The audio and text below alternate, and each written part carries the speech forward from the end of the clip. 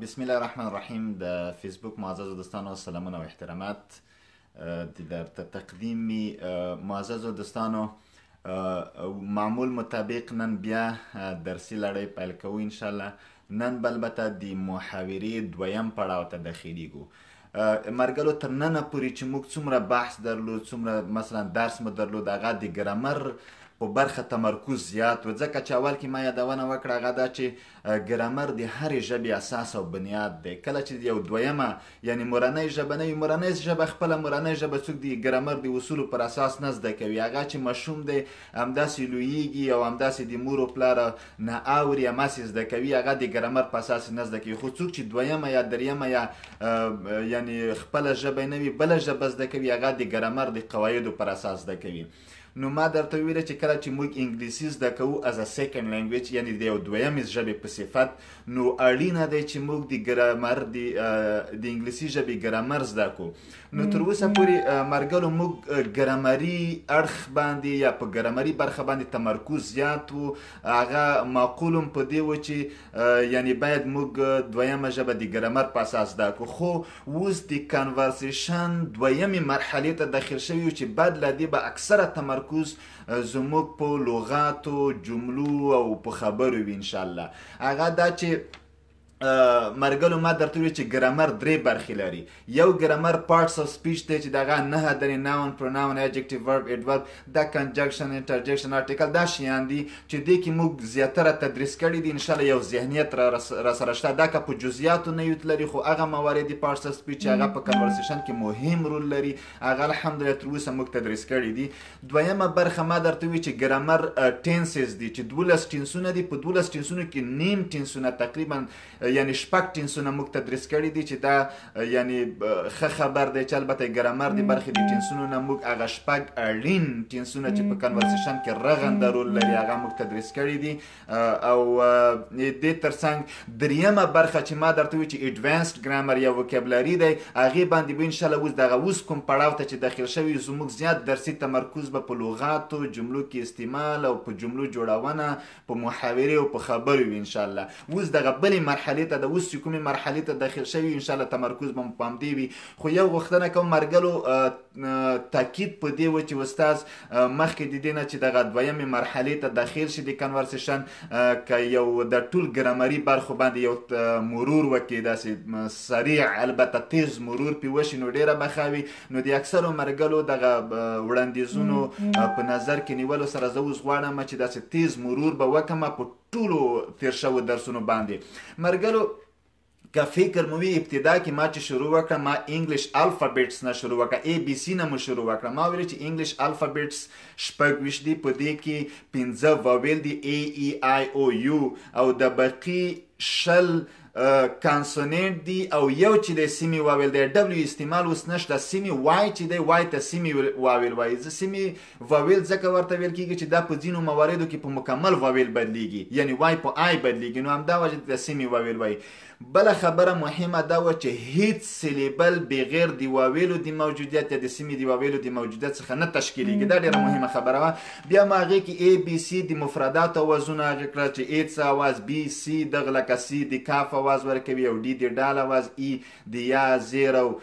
مثلا دی دا وزونه ورکوي هغه دی ویلو اواز مت ثابت نه وي او د کانسوننت ثابت او بل دا چې مرګلو بیا مرکبات ته لاړو چې کله سی د کاف اواز ورکوي خو سینه شاته ای آی وای چې راشي د سین اواز ورکوي مثلا سی د کاف اواز ورکوي خو سینه شاته چې ایچ راشي د چی اواز ورکوي نو داسې مرکبات ته هم داخل شوي دي ترڅنګ مرګلو بیا سبجیکټ پروناونس ته لاړو یا فاعلی ضمیرونو ته چې آی وی یو دی هی شي ایټ دا و سبجیکټ پروناونز دي دي کې ټو بي وربس ډیر مهم رول لري چې از ام ار از ټو لکه ټو بي ورب په صفت باندې موږ ویلې از د سنګولر سره یا هی شي اټ سره از راځي آی سره ام راځي وی یو دی یا د جمع سره ار راځي آی ام ا سټوډنټ شي از ا سټوډنټ وی ار سټوډنټس دی ار سټوډنټس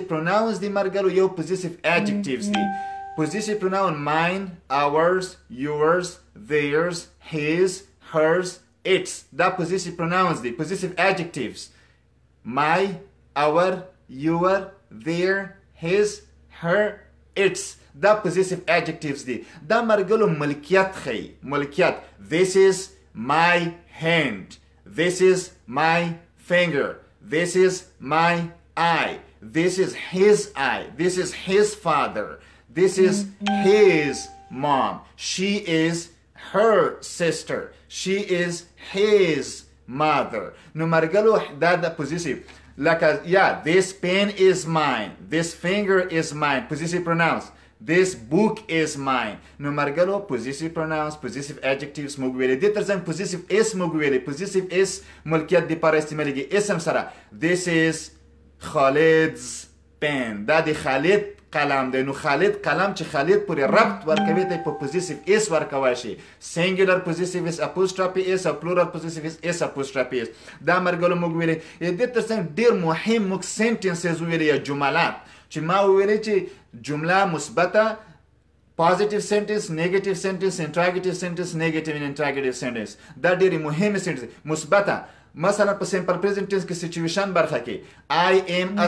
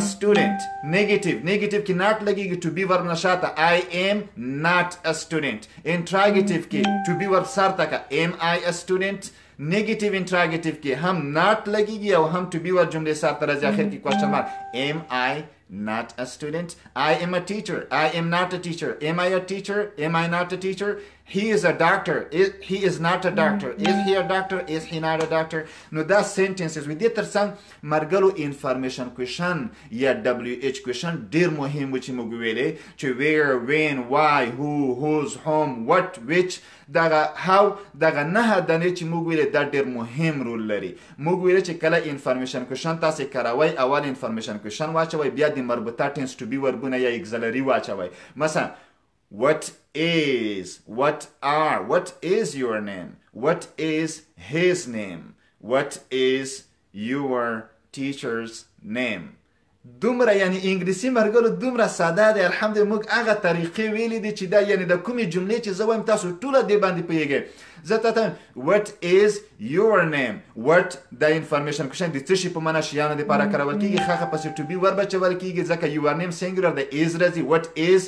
یور مرګلو پوزیسیف اډجکټیو دی یور نیم د ستانوم وټ ایز یور نیم د ستانوم چې شه ده ډیره دی مای نیم ایز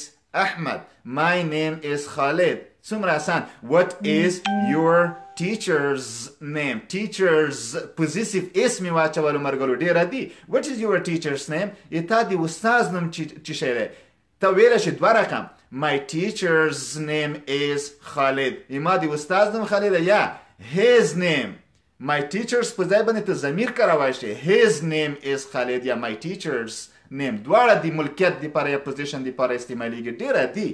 نو مرګرو انفارمیشن کوشن ډیر مهم دی کنورسیشن کې موږ هیڅ خلاصون نشته ای دې ترڅنګ چینجینګ سنګولر ټو پلورل موږ ډېرې ښې قاعدې وویلې چې څنګه یعنی اسم مفرد جمع ته بدل کو اول مو چې اس ورچوه بوک بوکس پین پینس ټیچر ټیچر سټوډنټ سټوډنټس اس ورچوه جمع کیږي بیا مې ویل چې کوم اسمونه په اس اس ایچ سی ایچ او ایکس زی په دغه ختم شوی ای اس ور واچوه باکس باکسز کلاس کلاسز مثلا واچ واچز یا مثلا بز بزز مثلا مرګلو دا چې کله په اس ایچ سی ایچ د اوس ټولو شیانو ختم شوی او ایکزیټ باندې ټومیټو ټومیټوز پټیټو پټیټوز نو ای e اس وراچوي ډیر عادي خبره ده بیا مو چې کله چې په ایف یا ایف ای e ختم شوی ایف یا ایف ای e په وی بدل کوي سور واچا وایف وایفز نایف نایفز لیف لیفز بیا مو ویل چې کله چې په وای ختم شوی وای نه مخې کنسوننټ وی وای په آی بدل کوي ای اس ور واچوه لکه فلای فلایز اف ال آی اف ال وای فلای مچ ته وای چې جمع کوي اف ال آی ای اس وای په آی بدلږي اس فلای فلایز ډیر اسان او کله چې دی وای نه مخې واویل بیا به خاص اس ورچ لکه بوای بی او وای د جمع لپاره خاص اس ورچ ځکه چې په وای ختم شوی دی خو ما قبل دی وای نه چې هغه کنسوننت دی واویل نه دی و بخې واویل دی کنسوننت نه دی نو دا صورت کې خاص اس ډېرې او ځینې قاعدې نه لرلې لکه مین ام ای ان ام ای ان چایلډ چیلډرن مثلا پرسن پیپل دغسې مثلا وومن ام ای ان و هغه ای ان داسې ځینې شیانو چې قاعدې نه لرلې هغه مو بلکه ماوس مایس په دغسې نور او دې تر څنګ مثلا مرګرو ټینسونو په برا کې مو خبرې وکړې ټینسونه ډیر مهم او مقدمتي بحث کې ما درته ویلې چې ټینسونه دولس ټینسونه دي شپږ ټینسونه کنټینیوس ټینسونه دي شپږ ټینسونه سیمپل ټینسونه دي سیمپل ټینسونه اکشن سچویشن دواړه ښیي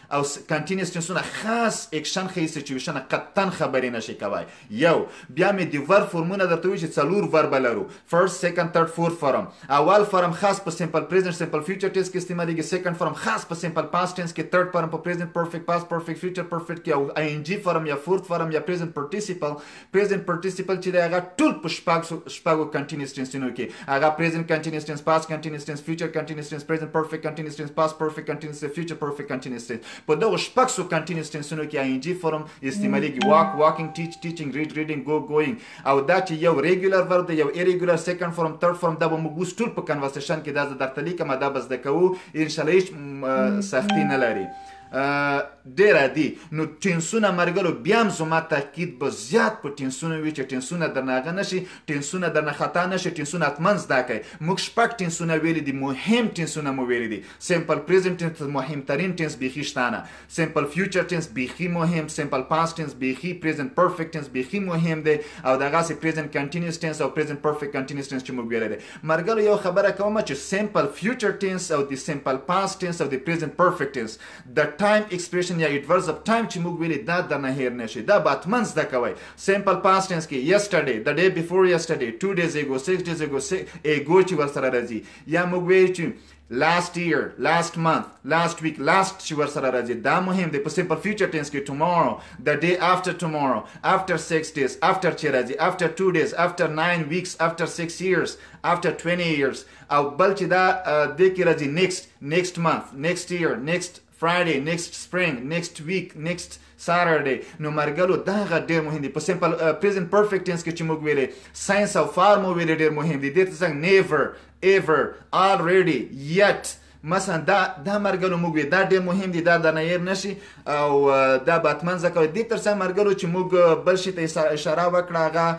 دی امپیریټیو سنټنسز و چې امریا جمله وي موږ نیگیټیو امپیریټیو سنټنس او پازیټیو امپیریټیو سنټنس په باره کې خبرې وکړې امریا جمله خاص ورب دی جملې سره ته راوړه اوپن د ډور سیټ ډاون کلوز د ډور مثلا سپیک انګلیش لرن انګلیش انګلیسي زده کړه انګلیسي خبرې وکړه مثلا کلین د وایټ بورډ مثلا خاص ورب سر ته راوړه د خپل امر د فشار پې راوړه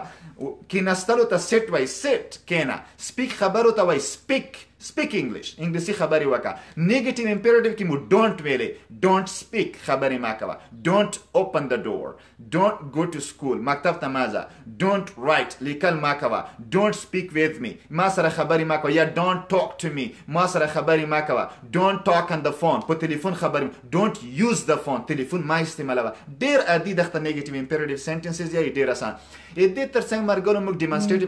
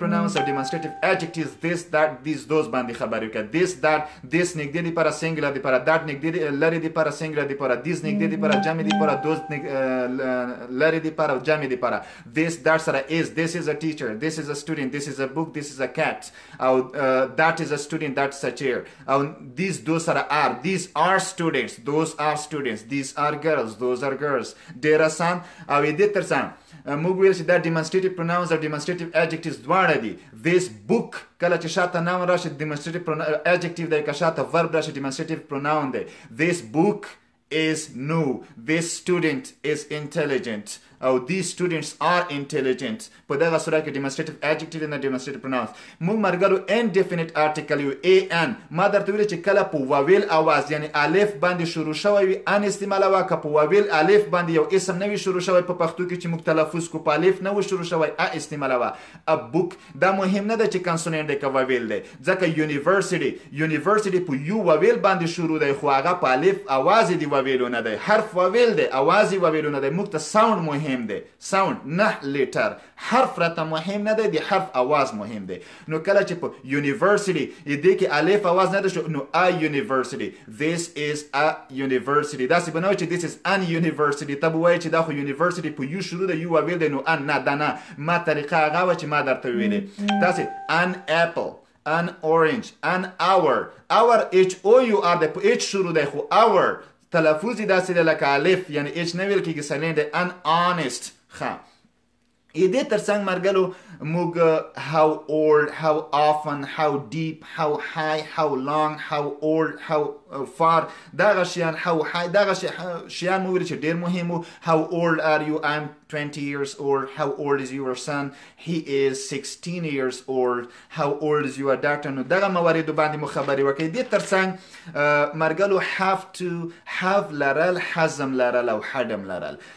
هف د جمع د پاره لرل خو آی سرم هف رزی آی هف زه لرم آی هف تو برادرز شی آی هف سکس ډالرز آی هف تو فرندز نو دا لرلو ته وایي هز د مفرد د پاره لرل هی هز هغه لري هی هز سکس برادرز شی هز two brothers نو has لرل had په ماضی کې دویم د سیمپل پاست ټینس کې استعمالیږي I had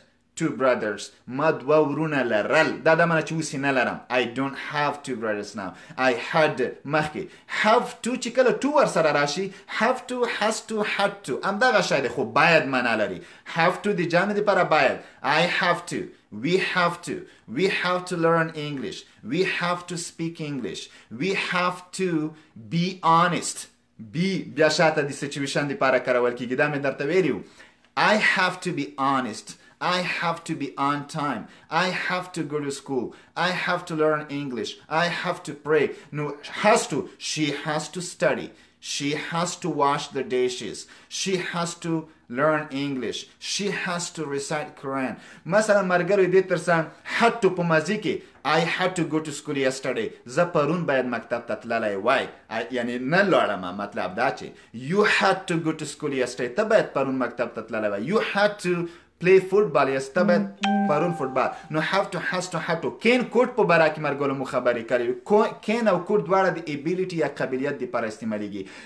کین په پریزنټ ټینس کې استعمالیږي او کوډ دویم فرم دی په پاست ټینس کې استعمالیږي آی کین سپیک انګلیش دا دا معنی چې زه انګلیسي خبرې کولای شم دا دا معنی چې آی هاف د ابیلیټي ټو سپیک انګلیش یعنی دا قابلیت لرم چې انګلیسي یا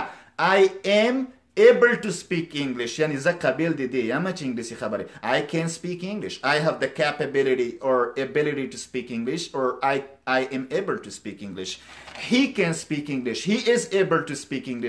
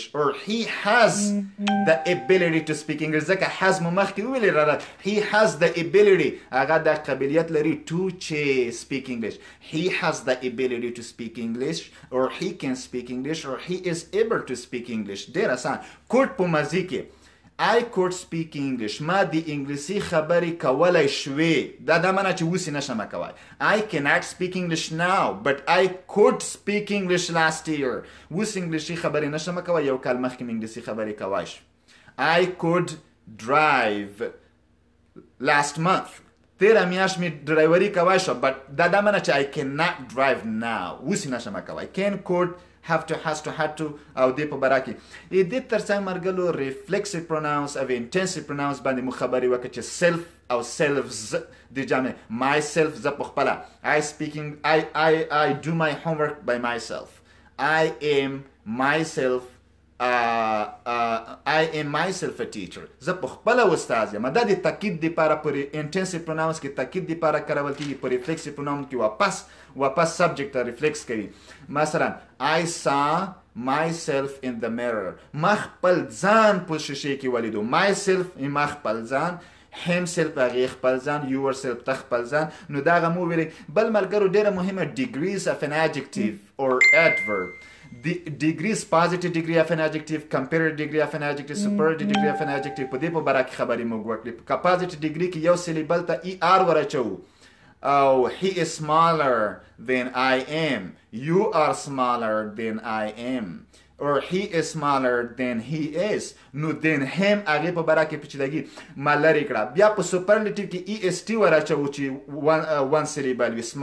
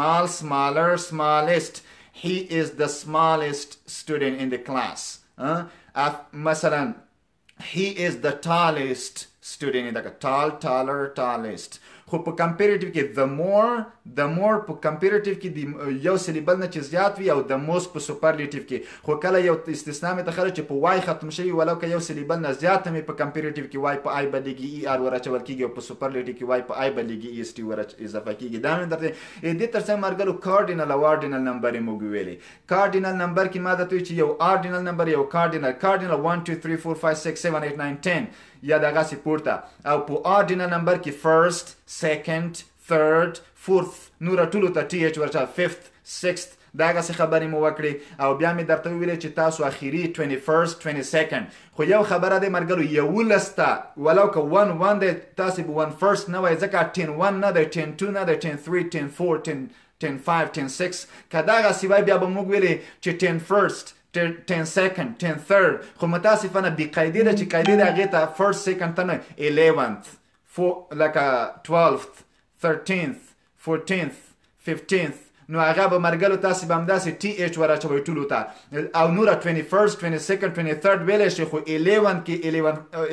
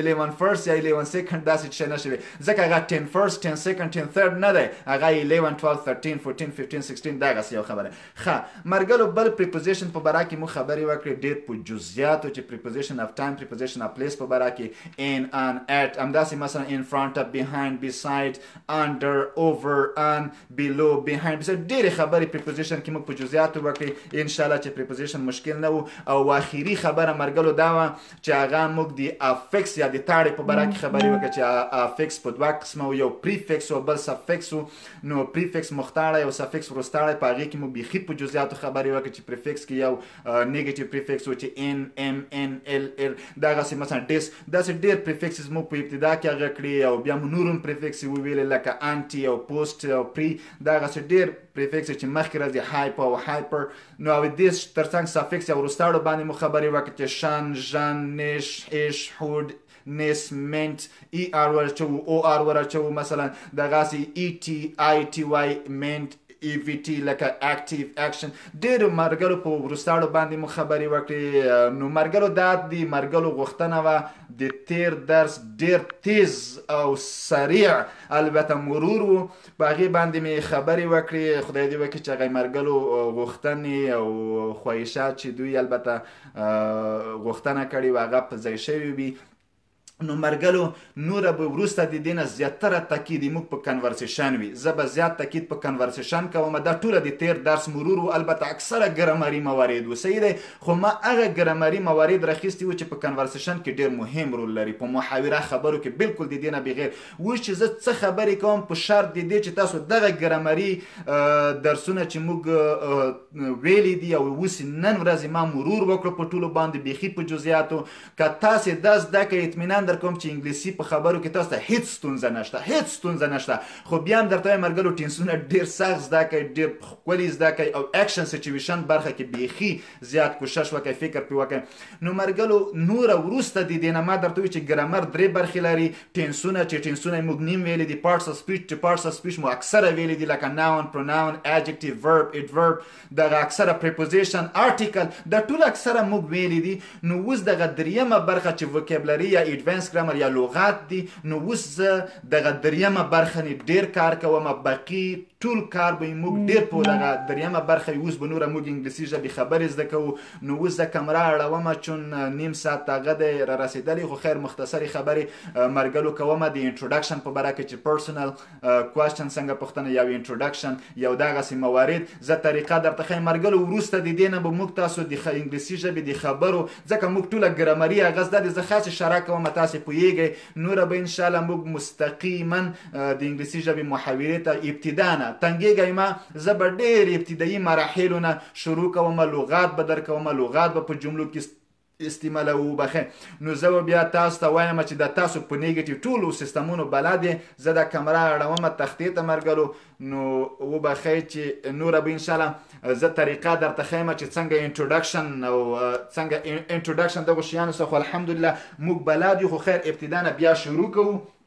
مرګرو زه بالکل دغه مرګرو زه چې کومه طریقه درته خیمه دی انټروډکشن په برا کې تاسو بالکل دغه تعقیبوي همداسې نن مرګرو چې کوم تاریخ دی هغه د اپریل یا څلورمې میاشتې پنځه ویشتم تاریخ دی د دوه زره نولس Today is uh, April 25th 25th یعنی 25 تام وګوره مرګرو لکه تاسو ویلي دي چې آرډینل نمبر څنګه 2019 Today is April 25th 2019 مرګرو انټروډکشن په برا کې اول مثلا چې ته چا سره مخامخ کیږي نو هغه درته وایي چې ګډ مارنینګ که سهار وي ګډ مارنینګ ګډ افټرنون که مسپښي مي ګډ ایوننګ دا ټوله موږ ویلي دي خو زه بیا هم یو مرور کوم مرګرو چې موږ تاسو هغه دی ګډ دا ګډ ګډ مارننګ ګډ مارننګ اول دغه سلام دی ګډ مارننګ ګډ افټرنون ګډ مارننګ سهار مو په خیر تاسو مرګلو لیکه ګډ افټرنون مسپیخین مو په خیر ګډ ایوننګ چې ماخام ټیم وي نو ماخام مو په خیر دغه درې اصطلاحات بلکل زیات کارول کیږي مرګلو د دې ځواب به څه وي ګډ مارنینګ ته به ورته وایي چې ګډ مارنینګ که دې ویل چې ګډ افټرنون ته به ورته چې ګډ افټرنون که دې چې ګډ ایونینګ ته به ورته وایي چې ګډ ایونینګ دې ځواب هم ده ګډ مارنینګ ګډ مارنینګ ګډ افټرنون ګډ افټرنون ګډ ایونینګ ګډ ایونینګ مرګلو سهار مې په خیر مسپخین مې په خیر ماښام مې په خیر دا هم داسې ده او یو شي ته زه اشاره کوم مرګلو شاته یې شاید ووایم خو ځینې مرګلي ماښام ټین ته وایي وایي ګوډ نایټ دا اشتباه ونه کوي نایټ شپې ته وایي خو دغه نایټ چې کله چا نه خدای پمني کوي یعنې مطلب ګوډ نایټ دا معنی چې هاف ا ګوډ نایټ یعنې ښه شپه ولرې لکه چا نه د شپې په باره کې چې ته خدای پمني کوې چې ښه شپه یعنې تاسې ښه شپه ولرئ زه درنه لاړم خدای پمنۍ په وخت کې ویل کیږي ګوډ نایټ دا د خدای پمنۍ نو تاسې د ګوډ نایټ او ګوډ ایوننګ تر منځ خدای دې وکړي چې په فرق پوه شوي وئ ماښام ټیم کې چا سره مخ شئ سلام پېټئ ګوډ ایوننګ خو که چرته ماښام ټيمې خدای پماني کوی چې ښه شپه ولره بيا ورته چې ګوډ نايټ يعنې ښه شپه خو ګوډ ايويننګ دا مانا چې ته چا سره مخامخ کيږې نو ګوډ ايويننګ دا سلام دی يا ګريټينګز دی او ګوډ نايټ هغه ګوډ بای يا خدای پماني يا خداحافظي دی چې دغه دوه ټکونه سره پوه شوي وو چې بيا هغه ګوډ مارنينګ يعنې سهار مو په خير سهار مو په خير ښه دا به زه ولیکم سهار مو په خیر یا سهار مو نیکمرغه نو دغه مسپیخین ته وایي مسپیخین مو په خیر مخام مو په خیر نو دې ځواب کښې دی مرګلو ځواب یې همدا شی دی چې ما درته ویلې ښه اوس how are you ته څنګه یې یا how are you doing دغه مرګلو ما درته ویلې دي مخکې نه نو وګورئ دا هماغه سمپل پریزینټ ټینس دی ما درته ویل چې هاو څنګه انفارمیشن کوشن دی خا خا ټو بیو پسې لګیږي هاو آر یو د آر ځکه راغلی دی چې یو راغلی دی د یو سره آر لګیږي آی وی یو د سره آر لګیږي هاو آر یو ته څنګه یې آی ایم فاین آی ایم ګوډ آی ایم سیک زه مریض یم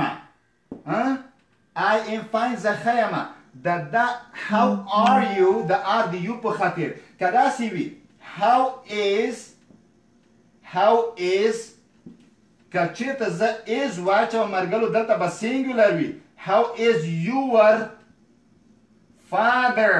ای تا پلار څنګه دی؟ مرګلو، Your father منا دا د تا پلار. د Your father د ستا پلار یعنی دا مفرد دی. Your father د پلار یعنی مفرد د پاره is راځي. How is your father؟ How is your father؟ پلار دې څنګه دی؟ ته به څنګه وایې؟ دوه طریقې ما پلار ښه دی یعنی my father is good یا هغه ښه دی ضمیر استعمال کا he is good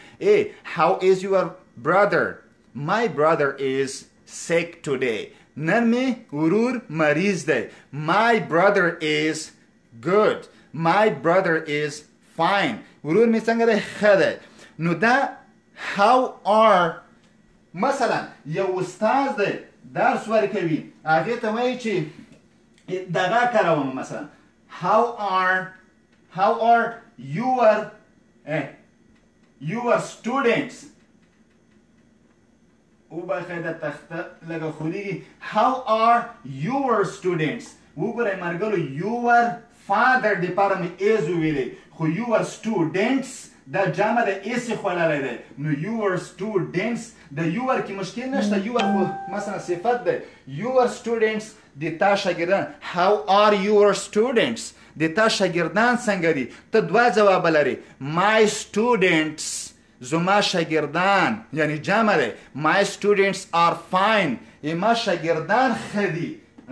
my students په پښتو کې هم داسې وایي چې موږ my students ګوره د جمع خوړی دی are fine اما شاګردان ښه دي یا د my students په ځای ته ویلی شي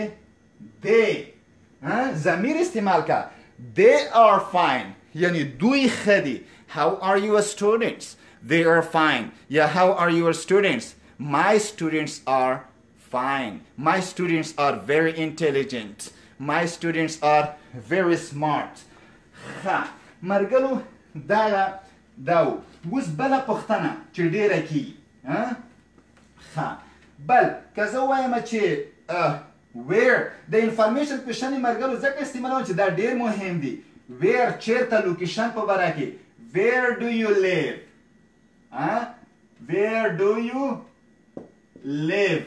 دا دا معنی سمپل پریزنټ ټینس دی مرګرو او مخکې هم ګوره سمپل پریزنټ ټینس وو خو څه فرق دی فرق دومره دی چې هغه سمپل پریزنټ ټینس وو سچویشن سټیټ یا سټیټ برخه وه او دا سمپل پریزنټ ټینس دی خو اکشن دی ویر ډو یو لیو ته چیرته اوسېږې ها بالکل عزیزي صاحب هاو ډو یو ډو یعنی ته څنګه یې همداسې لکه هاو آر یو هاو ډو یو ډو همداسې ویر ډو یو لیو ته چیرته اوسېږې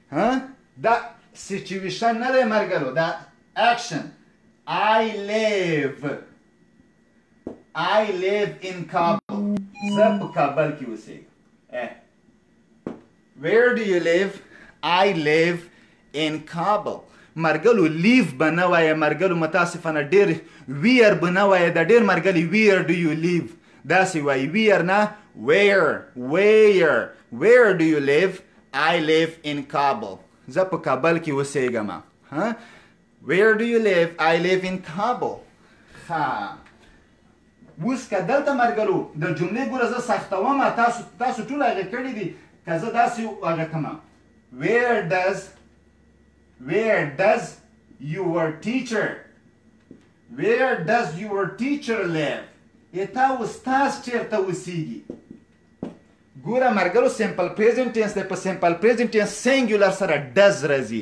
ویر ډز یور ټیچر یور ټیچر د ستا استاد دغه سنګولر دی یا مفرد دی ځکه مې ډز ویر ډز یور ټیچر لیو ای تا استاد چیرته اوسیږي نو ته دوه تل مای ټیچر یا مای ټیچر ای ما استاد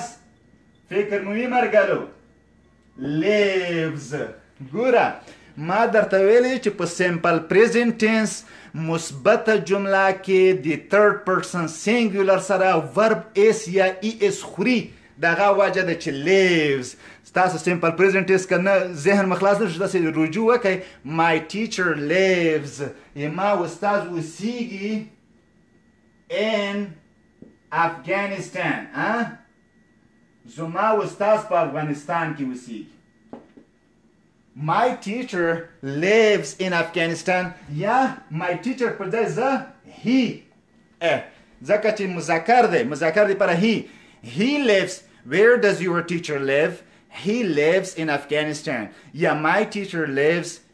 ان افغانستان ډیره عادی ډیره خپلی جمله مرګلو موږ همداسې ابتدایي ابتدایي جملو سره ځان عادت کوو بیا دغه خبرې داسې نه دی چې ته ووایې چې سختې دي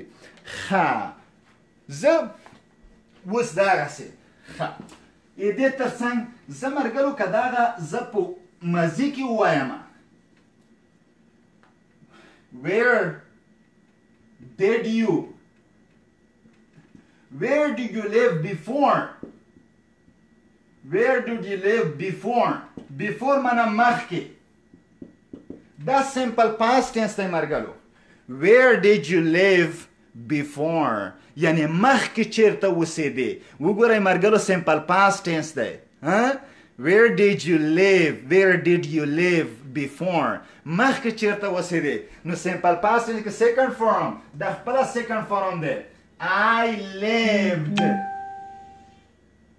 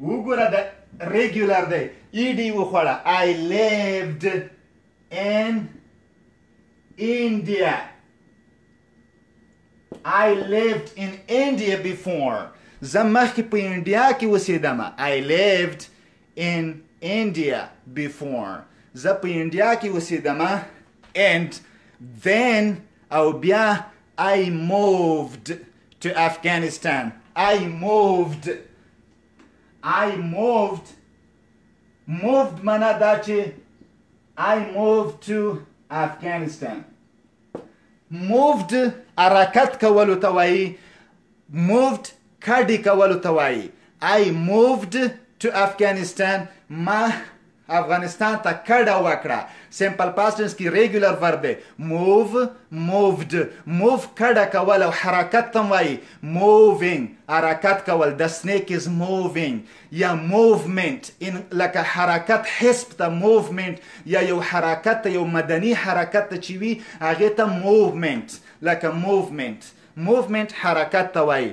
نو ځکه چې سفکس وروستاړی موږ ویلی دی چې منټ ورواچوو هغه په اسم بدلیږي موومنټ مرګلو ډیره ښکلې جمله یعنی موږ به دا ښه اوس که لږه نوره جمله سخته کو نوره جمله سخته کم لاړ شم پریزنټ پرفیکټ ټینس ته ویر ښه زه ووایم how long how long have you How long have you lived in India? نه پریزنت پرفیکټ ټینس ته لاړم مرګرو هاو لانګ هاو یو لیفډ ان انډیا د څومره وخت لپاره په انډیا کې مثلا اوسېږي څومره وخت راهیسې هاو لانګ هاو یو لیفډ ان انډیا یعنی څومره وخت راهیسې په انډیا کې اوسېږي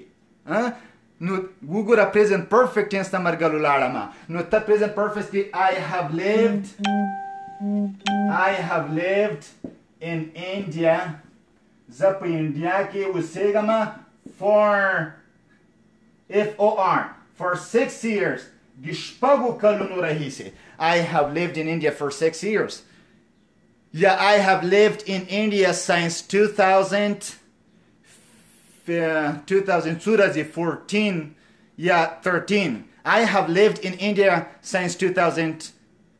2013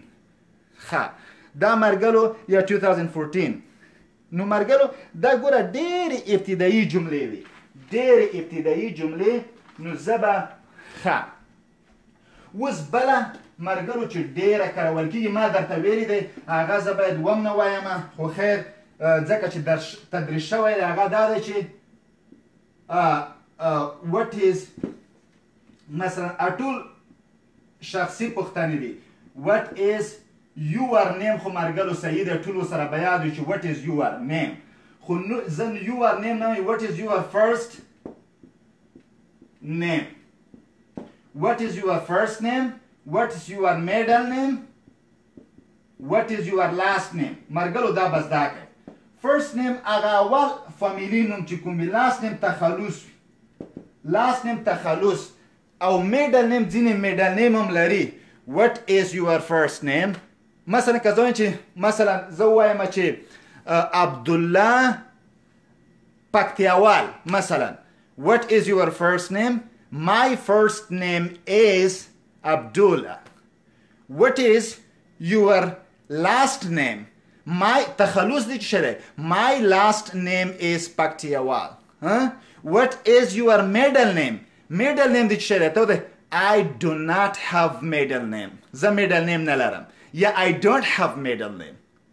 زه میډل نیم نه لرم اوکې مای فرست نیم از عبدالله ان مای لاست نیم از پکتیوال اوکې نو مطلب مرګر وګوره دا ډیر کارول کیږي هر څوک تانه پوښتنه کوي واتس یور فرست نیم مثلا وات از یور فادرز ها وات از یور فادرز فرست نیم نو مرګلو کچا چې وات از یور فرست نیم ته وته چې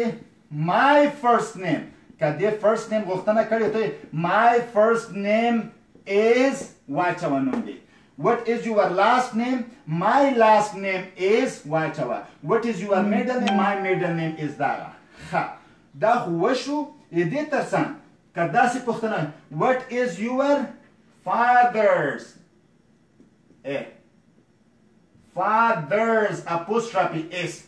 Huh? What is your father's first name? طب My father's first name is Abdullah. What is your brother's first name? My brother's first name is Abdullah. My brother's last name is هر شی چې اچوي واچوه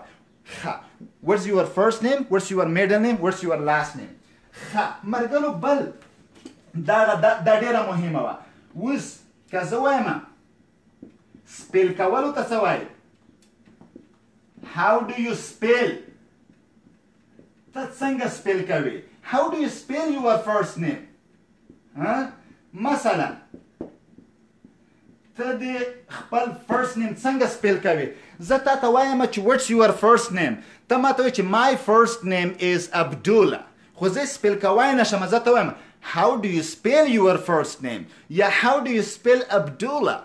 ته به وایې ایټ از هاو ډو یو سپیل یور فرست نیم ایټ از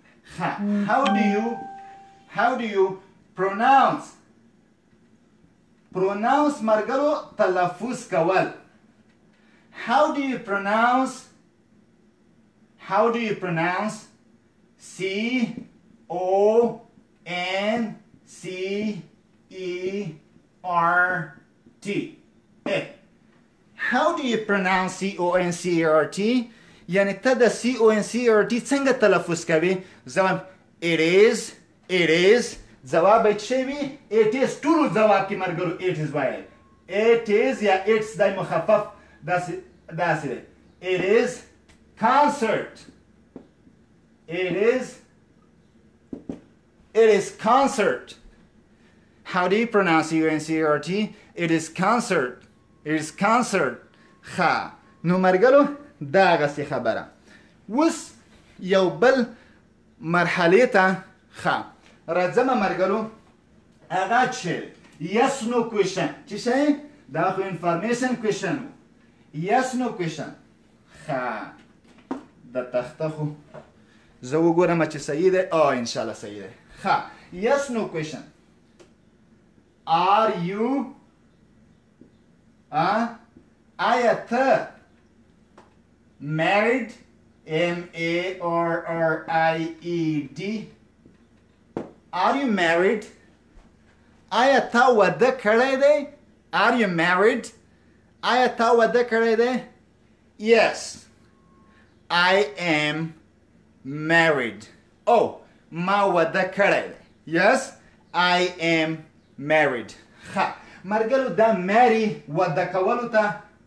اصل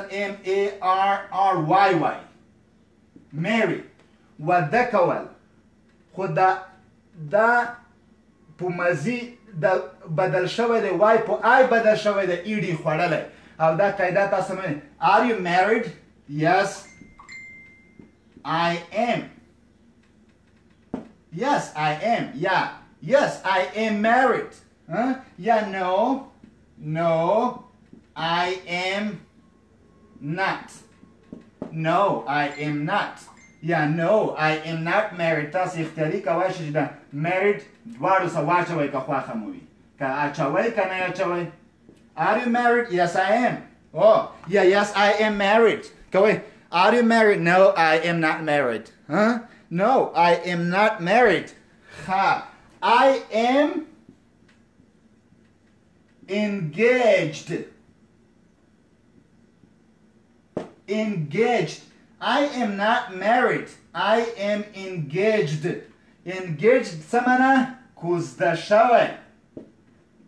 کوزده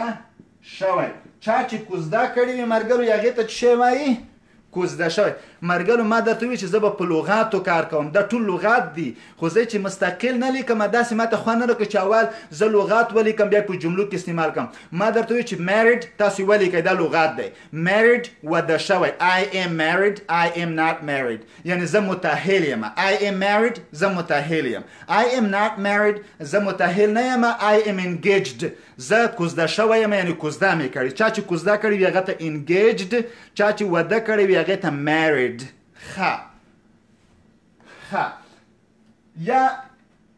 engaged.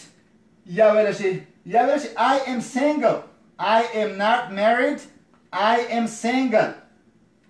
Single samana mujarad. M. Ha. Are you married? No, I am not married. I am single. The mujarad yama. Huh? Yeah. Yes, I am married. یا نو آی ایم ناټ میریډ آی ایم انګیجډ زه واده مې نه دی کړی خو کوزده مې کړې یا آی ایم سنګل مرګر وګوره انګلیسي یعنی هیڅ داسې سختی نه لري چې څوک وایي چې انګلیسي نه زده کړي ډېر عادي هغه شیان چې موږ ویلي دي آی ایم میریډ آی ایم سنګل ډېر عادي تاسو کوی شئ چې دا هغه شي د مرګلې تخته سمه نه دی خدای دې وکړي چې اوس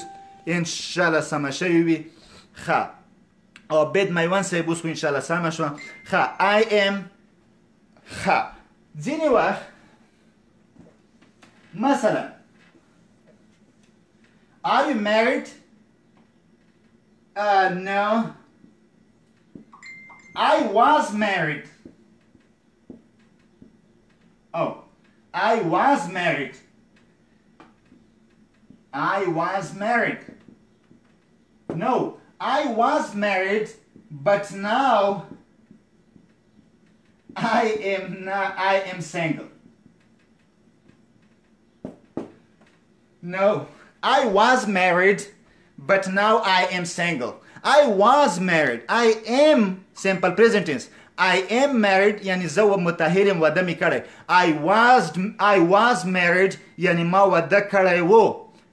یعنی بټ خو ناو آی ایم سنګل اوس مجرد یم ولی خا مثلا I divorced divorced I divorced my wife ما خپل خزه چې وکړو طلاق ورکړو divorce طلاق ور ګوره مرګره د ډیورس زه تر دې ځای پورې ډیورس طلاق ورکول خو د ایډي ځکه خوړه دی دا مزي زمانه دی په مزي زمانه کې ریګولر ورب ایډي خوري که نه آی ډیورس زه طلاق ورکوم آی ډیورسډ ما طلاق ورکړو آی ډیورسډ مای وایف ما خپلې ښځې ته طلاق ورکړو ډیورسډ طلاق ورکړو آی ډیورس خپله طلاق یا طلاق ورکولو ته وایي مرګلو دا زده کوي میریډ سنګل انګیجډ ډیورس اور ډیورسډ ښه بل مرګلو د دې کلمو سره د دې کلمو سره تاسو د ګیټ په نامه ګیټ دام استعمالوای شئ وبخښئ ګیټ ګیټ جی ای ټی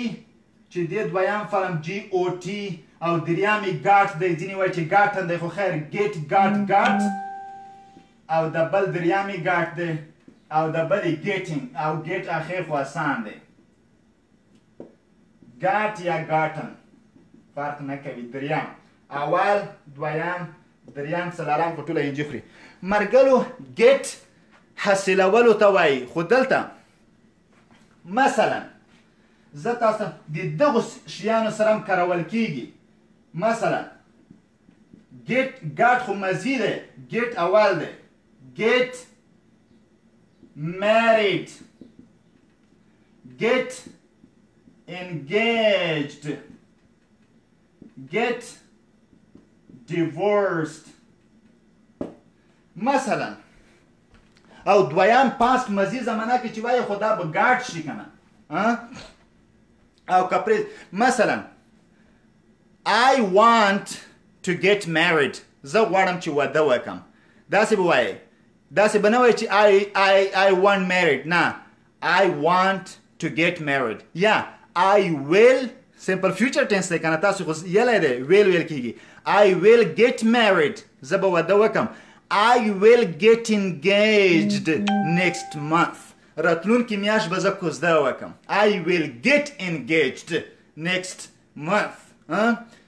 مثلا ښځه I will get divorced next year راتلونکي کال ته به زه طلاق واخلم دغسې یا طلاق ورکم واخلم نو مطلب I, I will get married زه به واده وکم یا ویلی شي داسې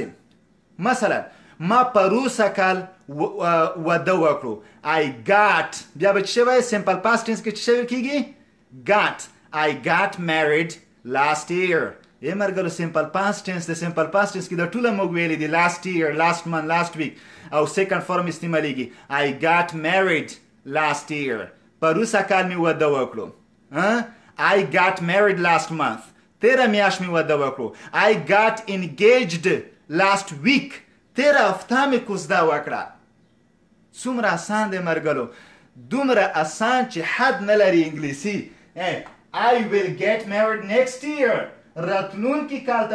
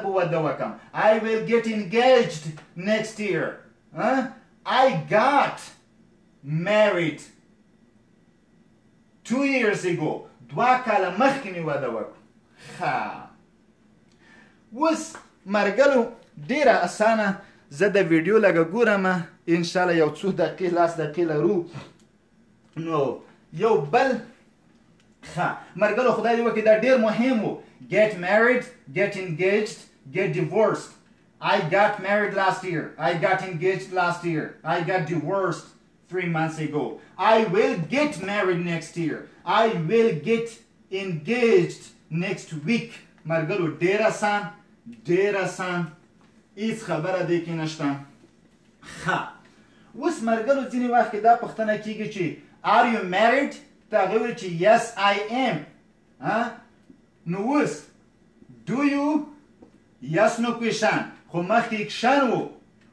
سیچویشن وو اوس ایکشن Do you have children? آیا ماشومان لري د چیلډرن په ځای ډیر د اهل لغت چې د کیټس کاروي وبخښئ چې ما خو دغه هغه بیخي استعمال نه کړو have do you have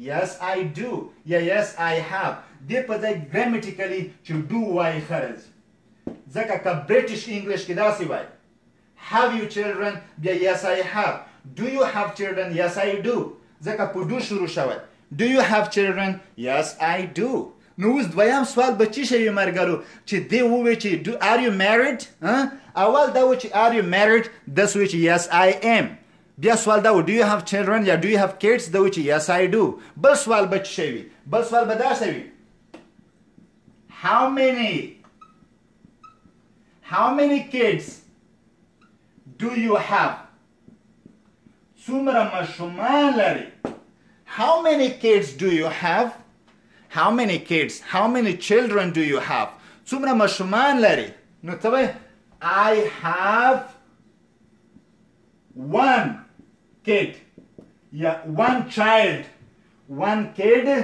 یا ون چایلډ بیا به چیلډرن نه وایې مرګلو چیلډرن ماشومانو ته جمع دی چایلډ ماشوم یو دنه آی هو ون کېډ یا آی هو ون چایلډ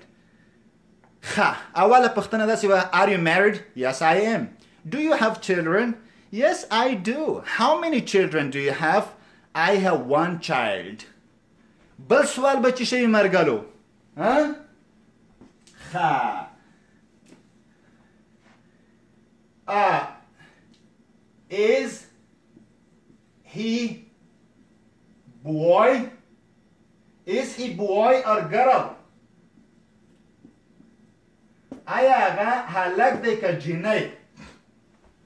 بل سوال به دا شي ایس هی بوای ار ګرل ښه مرګلو تاسو به ووایې د سوال ته ډیره بریکی لري چې دی خو د هی استعمال کړو نو دای خو داسې معلومیږي لکه دای پوهیږي چې دا نر دی د هی خو د نر لپاره کارول کیږي نو ضرور نه و چې د ګرل ایس هی بوای ار ګرل د هی نو هی ولې استعمال کړه مرګلو په ګرامر کې دا اصول دي چې کله د یو شي جنس نه وي معلوم چې دا مذکر دی که مؤنث یاغې د پر همیشه د مذکر صیغه استعمالیږي دا طریقه زده که ډیره مح... خاص په انګلیسي کې نه دی په ټولو پښتو عربي کې دی دغسې چې کوم شي جنس معلوم نه وي چې جنسیت د دغه شي مذکر دی که مؤنث نو هغې دپاره همیشه همیشه د مذکر صیغه استفاده کیږي مثلا لکه زه یو څوک ولو که دروازه ټکوي لکه ته هی هو از هی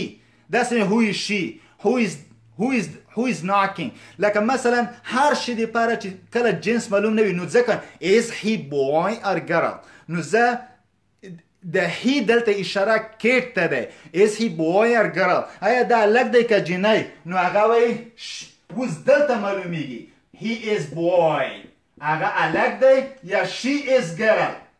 هغه جنای دی که دغه دغ زمیر نه بیا پاتې لګیږي دا صحیح دی هی از بوای هغه هلک دی شي از ګرل خو هغه ځای کې ډیره بریکی لري او دغه شي سره ممکن تاسو بیا مخامخ شئ مرګلو چې د یو جنس یو شي جنس معلوم نه وي تاسو هی ورته کروای شئ دا کوای شئ ښه بل ښه اوس زه وایم چې بله پوښتنه دا کوم چې اوس ته وظیفه لرې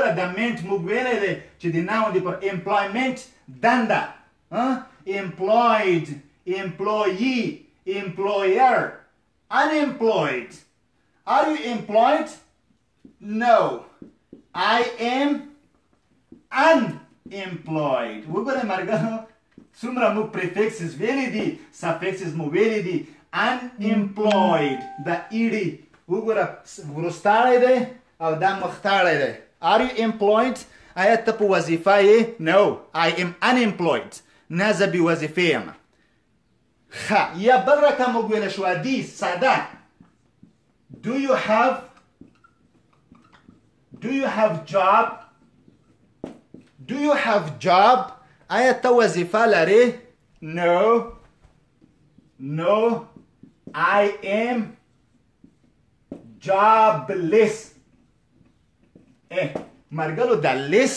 لیس ما درته وی چې دا ورستاړی دی لیس دا معنی چې یو شی نفي کوي به جاب لیس به وظیفه هوم لیس به کوره فوټ لیس به پخې فادر لیس به پلاره مادر لیس به موره جاب لیس به وظیفه نو آی ام جاب لیس No, I am jobless. نه زه بی وظیفه یم. I am jobless یا I am unemployed. ښه مرګلو دا یعنی ډیر ابتدایی او ډیر مهم موضوعات وو اوس دا ټوله ګوره لغات دي تاسو سره ما وعده کړې وه هغه وعده دا وه چې زه به چې کله کنورسیشن ته داخل شم کنورسیشن کې به تاسو ته تا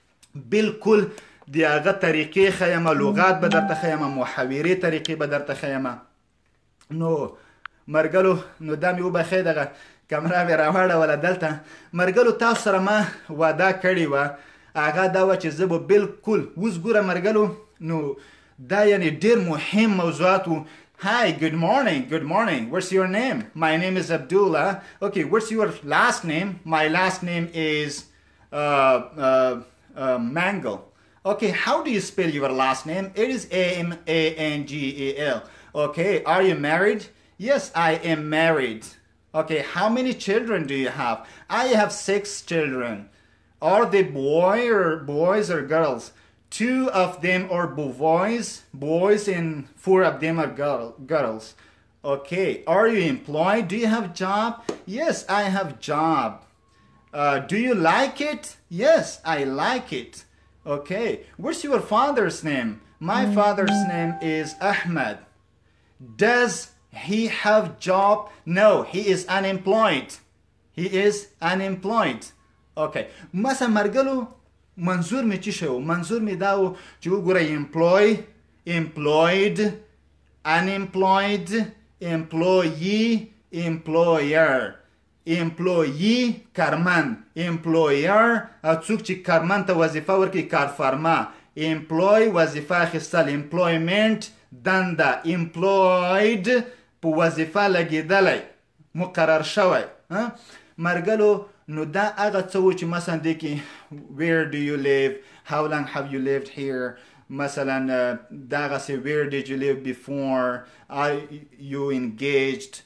Are you married? Are you single? مرګلو په دغه موارد نو married, engaged, engaged, single, divorced, employed, unemployed, job, jobless, مثلا employment ډیر لغات موږ زده کړه مرګلو نو خدای دې وکړي چې د کې کومه ستونزه نه وي مرګلو موږ اوس مستقیما محاورو هغه طریقو ته داخل شو الحمدلله موږ دغه ورستاړي مختاړي ویلې دي او مننه خه سنګروال صاحب وای وای زه اوس را مننه په خیر راشي عابد یوسفزای صاحب مننه ګرانه یوسفزای صاحب نړۍ مننه خه ملګرو بیا هم تاسو د غدي نوې لړۍ په باره کې چې موږ بل مرحله د کنورسیشن شروع کړه پایل کړه هغه د کنورسیشن اوس زیات تاکید به مو په لغاتو وي چې که اوس مرګلو تاسو به دغه سوال درته پیدا شي چې لغات مو زده نه که ما دغه لغات و چې انګیجډ او دې سره کوم ورب ګیټ انګیجډ ګیټ ډیورسډ ګیټ میریډ یا سنګل ته څه وایي جابلیس جاب امپلویډ ان امپلویډ دا ټول کلمات دي نو وروسته دې نه به موږ مستقیما تاکید په کنورسیشن وي او خدای دی وکړي چې تاسو خپل هغه ستونزې که څه لرئ هغه را سره شریکې کړئ بیا کمنټونه پرېږدئ زه ستاسو کمنټونه لولم که څه تغیرات تحولات مو غوښتل بالکل به راولو او زه خو دغه طریقې ته نسبتا خوشبینه یم خدای دی وکړي چې تاسو کوم هغه نه وي اخر یو بل لغات درکوم مرګلو اخیری وبخی فکر کوم چې ښه مرګلو یو یو لغات درکوم زه بیا اخیری درنه خدای پمانی کوم خدای حافظي هغه دا چې خبرونه دغه هغه کمره وبخی مرګلو چې دا خو د هغه زیاته بخنه غواړم چې د فکر کوم د هغه ګروپ بل کړی دی خو په هر صورت ضرور نه دی مرګلو خبر اخبار ته نیوز نیوز معنی خبرونه مرګرو نیوز خبرونو تم وایي نیوز موږ نیوز نه وایو نیوز نیوز نوز منا خبرونه داسې تلفظ کیږي نوز خبرونه او خبر تم وایي خبر مثلا ګډ نوز ګډ نوز ګډ نوز ښه خبر یا بد نوز بد خبر مثلا زه وایم ته ما ته وایې چې ایټ زه کوم چې داسې یو خبره دی مثلا he passed the test هغه په امتحان کې کامیاب شو it is a good news ها it is a good news دا خو یو ښه خبر it's very bad news دا ډیر بد خبر دی it's a good news it's a bad news نو نوز خبرونو ته وایي مرګر ولی نوز ته خبرونه وایي ځکه چې خبرونه خو د څلور کونجه دنیا معلومات وي ایمنه نورث نورث نورث چی ته وایي شمال ایمنه ایست ایست شرق یا ختیز دا څه معنا ویست غرب یا لویدیز او ایست څه معنا ساوث ساوث یا جنوب یا سوئ خا مرګنو نوز خبرونه ځکه ورته خبرونه وايي چې د څلور کونجه د شه د دنيا د شمال د جنوب د شرق او د غرب معلومات پکې وي نو مرګلو نوز علم نورث نورث نورث نورث شمال ایست ایست ایست شرق ویست ویست ویسټ، غرب، ساوث، South، ساوث، جنوب، نو مرګلو تاسو اوس څلور اطراف هم زده کړه، شمال، جنوب، شرق، غرب، نارث، ایسټ، ویسټ، ساوث. نو دغه خبرونو ته نوز وایي مرګلو، نوز، او خبر ته وایي It's a very good news. دا یو ښه خبر دی. It's very bad news. دا ډېر بد خبر دی. نو مرګلو داغه مو زده کړه څلور اطراف شمال جنوب شرق غرب دا ټوله په خبرونو کلمې کې نغښت دي چې نوز خبرونو ته وایي او تلفظ مرګلو ډېر مهم دی تلفظ د ټي ایچ د خبره رانه وګدیږي د ټي ایچ ډېر مهم دی چې څنګه تلفظ شي دا نورث North, South, South, South, East, East, East, West, West, West. مرګلو دغه هر شی چې زده کوئ په صحیح تلفظ سره زده کوئ دغه یو نوره کلماتو چې البته تدریس مو کړه نوره مرګلو زحمت نه درکوم خدای دې وکړي چې دغه درس ګټور تمام شوی یو څه برداشت مو کړی وی دی درس نه فکر کوم چی ویډیو حوجم نسبتا زیات شو خو محاوره یا کنواسیشن مرګلو یو اصول لری هغه ده چی طبعا دی ګرامر خلاف دی دی حوجم لږ زیاتیږی ځکه چی موږ دلته ډیری خبری کوو مختلفی جملی لیکو دی هغی په تشکیلاتو ترکیباتو باندی خبری کوو دی هغی په منفی مثبت اړخونو باندی خبری کوو دی هغو په دی یو کلمی په ترکیب باندی خبری کوو دی مختاړی وروستاړی د دې له نظره هغې باندې خبرې کوو نو طبعا د ویډیو حجم معمولا وګدیږي بخنه غواړم که دغه سی یو څه و حجم د ویډیوګانو په کنورزیشن برخه کې د اوس پړاو چې موږ شروع کړو وګدیدو نو موږ وزغمای خدای دې وکړي چې کوم مشکل نه وي